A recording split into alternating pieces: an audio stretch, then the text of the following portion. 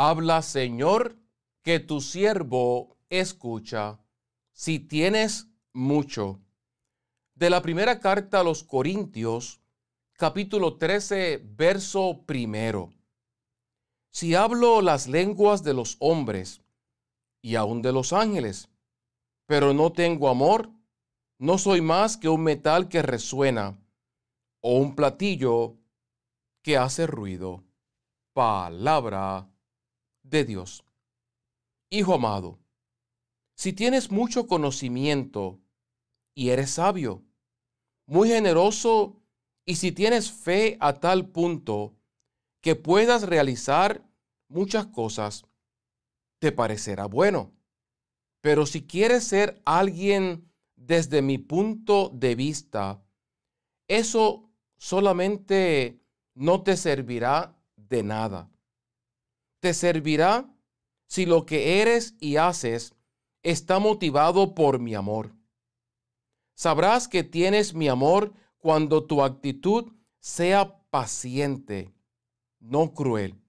Ni busques ser visto, ni ser reconocido, ni guardes resentimiento a otros, y seas alguien que perdona. Te ama tu amigo y Salvador, Jesús.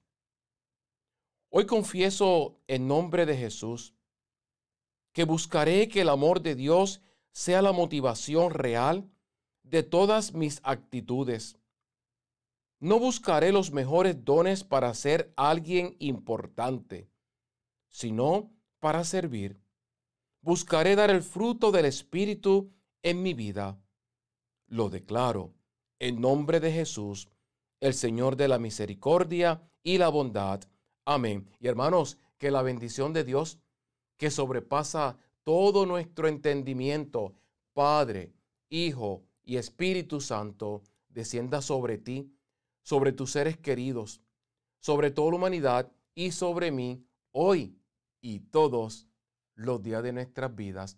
Amén. Hermanos, misioneros, divinamisericordia.com es nuestra página web. Ahí puede conseguir todos los recursos que a diario produzco. Por el momento, oro al Señor para que usted y los suyos tengan un día lleno de la misericordia, de la bondad, de la presencia y de la bendición de Dios.